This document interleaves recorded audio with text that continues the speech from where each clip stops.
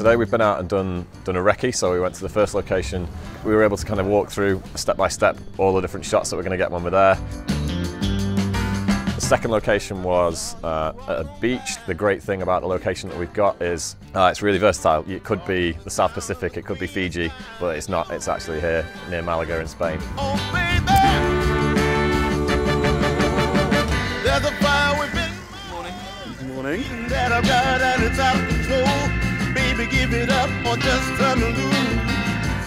The two main products that we've uh, been shooting today um, are quite big products for us. The Brook shoe that you'll see that we shot on the harbour is a lace-up shoe, brand new to the range this year. No, that's cool. Happy with that.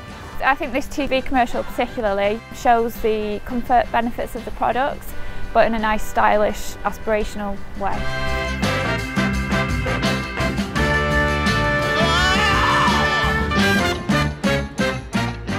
Now we're here on the beach, sunshine and spring summer feeling that Hotter really wanted, and it looked really nice. And fingers crossed, get some fantastic stuff.